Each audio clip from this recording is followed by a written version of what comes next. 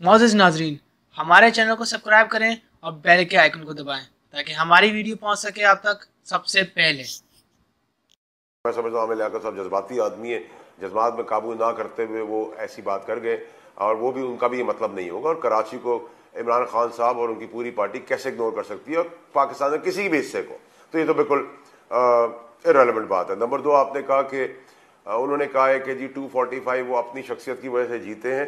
اور اس میں عمران خان صاحب کا کوئی رول نہیں ہے۔ میں یہ بھی نہیں مانتا۔ شخصیت جو ہوتی ہے، وہ اس کی محنت ضرور ہوتی ہے اور اس کا کانفیڈنس ضرور ہوتا ہے، اس کی خدمت ضرور کنسیڈر کی جاتی ہے، لیکن جو ٹکٹ کے پیچھے جو جس کو آپ ووٹ دے رہے ہوتے ہیں، وہ وہ لیڈر ہوتا ہے۔ لیڈر سے بڑا لیڈر جو کہتا ہے اپنے آپ کو، وہ میرا خیال ہے کہ وہ بھی امیچور بات ہوگی۔ عامر کا دل کا اچھا آدمی ہے جذباتی ہے ریاکشنری ہے نیچ ریاکشن دیتا ہے۔ اس کی باتوں کو نہ ہم سنجیدہ لیں گے اگر ناراض ہوگا تو اس کو منا لیں گے۔ وہ ہمارا بھائی ہے، ہماری پارٹی کا ممبر ہے پاکستان کا ایم این اے ہے۔ تو کوئی پرابلم کی بات نہیں، تھوڑا جذباتی ہوا تھا کبھی کبھار نیند نہ پوری ہو یا غصہ ہو یا کھانا نہ کھایا ہو تو ایسا ہی ہوتا ہے۔